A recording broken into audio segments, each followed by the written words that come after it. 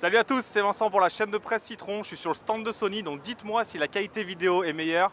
Si elle est moins bonne, j'essaierai celui-là. Salut à tous, c'est Vincent pour la chaîne de presse Citron. On vient de finir le deuxième jour officiel du CES, donc on a pu voir plein de petits trucs. Si vous ne savez pas, le CES est coupé en deux lieux. Le premier, c'est au Sands et ça regroupe toutes les startups et toutes les catégories émergentes comme la maison connectée ou le sport connecté par exemple.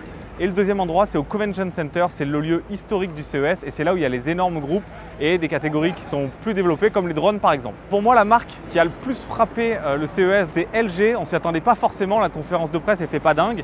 Et en fait, ils ont fait les choses un peu différentes. Alors que tout le monde attendait les télé 8K, il y en a eu plein. Eux, ils ont présenté un écran pliable 4K qui en fait vient rentrer en roulant dans une barre de son. Et donc l'année dernière, on avait déjà vu pas mal d'écrans pliables et je me demandais à quoi ça pouvait servir. Et bien là, je viens de comprendre. Parce qu'en fait, cet écran, quand vous n'en avez pas besoin, il rentre dans la barre de son et ça prend pas de place dans la maison. Et du coup, ça répond à un vrai besoin en design ou pour l'intérieur. Donc c'est vraiment un bon produit. Surtout que la qualité d'image, on a pu la voir, est quand même excellente. Bien sûr, avant d'avoir un écran comme ça chez nous, il va falloir patienter un petit peu parce que le prix est très élevé. Mais la technologie marche, l'écran est très beau, il y a l'effet waouh quand il sort et je pense que dans quelques années, ça va pouvoir arriver chez nous. Deuxième point sur lequel LG a frappé un grand coup, c'est tout simplement sur son stand. Chaque année, il y a une bataille entre les géants. Samsung est très bon d'habitude. Et là, en fait, LG, ils ont présenté à l'entrée des écrans incurvés sur des dizaines de mètres. On a pu voir des animations, des paysages, et c'est vraiment ultra impressionnant. Tous les gens du CES qui sont passés devant se sont arrêtés pour prendre au moins une photo ou une vidéo, et LG a fait vraiment très très fort. Il y a un autre sujet majeur de la tech en 2019 et qui a été abordé au CES, c'est comment supprimer les encoches sur les smartphones. Et on a pu voir trois approches complètement différentes. La première, c'est celle du Nubia X, qui en fait a un second écran à l'arrière, donc qui s'active quand vous passez en mode selfie. Et vous utilisez donc la caméra arrière pour faire un selfie, ou quand vous en avez besoin, vous pouvez voir les applications à l'intérieur. Donc ça, c'est un petit effet waouh. Dans la pratique, ça n'a pas l'air très très simple à utiliser. On a pu le tester et c'est pas simple de passer de l'avant à l'arrière, c'est pas très intuitif.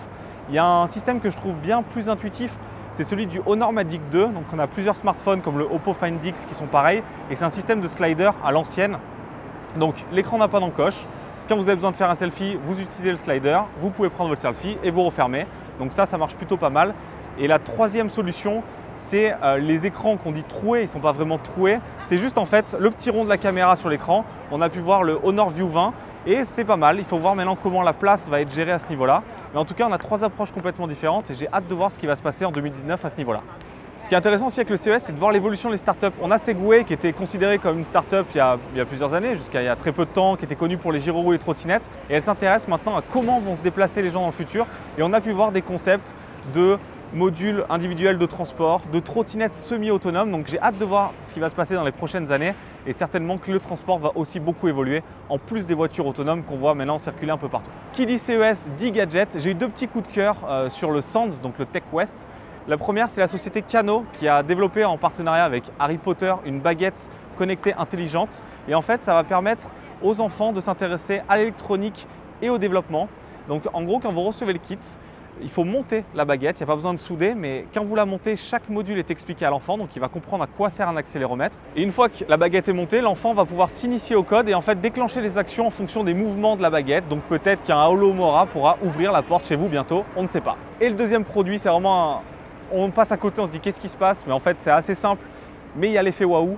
C'est un échiquier autonome. Alors comment ça marche? En gros, vous pouvez jouer contre un ami à distance ou contre l'ordinateur, et en fait en fonction de vos mouvements, bah, l'ordinateur et l'ami va jouer sur sa tablette ou son smartphone, et les pièces vont bouger toutes seules. Donc les pièces bougent toutes seules car vous faites prendre un pion et sort toute seule du jeu.